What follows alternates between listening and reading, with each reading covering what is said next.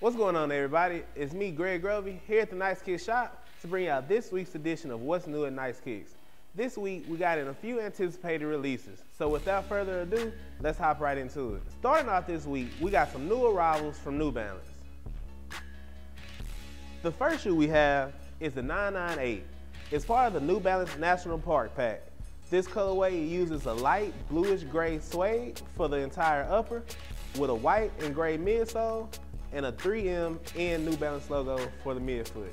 You can grab these for 160 bucks.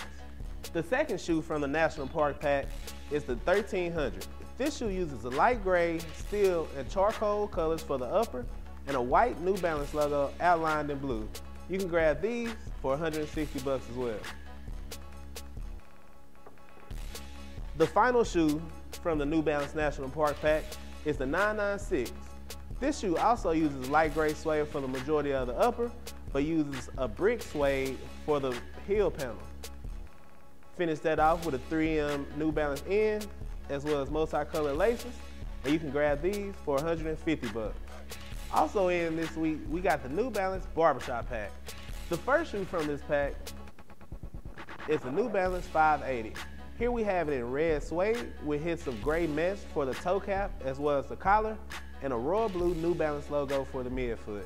Finish it off with a red roll bar and a gray midsole, and you have the Barbershop M580. You can grab this for 120 bucks. The second shoe from the pack is the New Balance 999. This shoe uses different shades of gray suede for the upper with hits of royal blue to set it off. You can grab this for 120 bucks. Also part of the barbershop pack is the New Balance 1600 Elite Extended Edition. This shoe uses a brick suede for the entire upper with hints of dark burgundy leather and black leather for the heel tab. Finished off with a white midsole and a gum outsole. You can grab these for 175 bucks. To finish things off with New Balance, we have two colorways of the 574. The first one uses a royal blue suede with royal blue mesh, a red N New Balance logo, and outlines of white. The second colorway uses navy blue suede, navy mesh, a yellow New Balance N, and a white and gray midsole. You can have your choice of the navy or royal blue color for 75 bucks. Taking a quick stop at Reebok, this week we received the Reebok Shaq Attaq Pump in the LSU colorway. As you all know, Shaq attended LSU for a few seasons of basketball before entering the NBA. This shoe pays homage to his alma mater by having different shades of purple on the upper, as well as gold and purple tiger stripes for the heel tab and the inner lining. You can grab these for 160 bucks. Jumping from one Laker great to the next, we have the Adidas Blueprint, which is Kareem Abdul-Jabbar's signature shoe. It uses lush blue suede as well as a pretty good quality blue leather for the majority of the upper and a vulcanized white midsole. You can grab these for 100 bucks. Also in the classic Adidas line, we have the OG Adidas Original Top 10.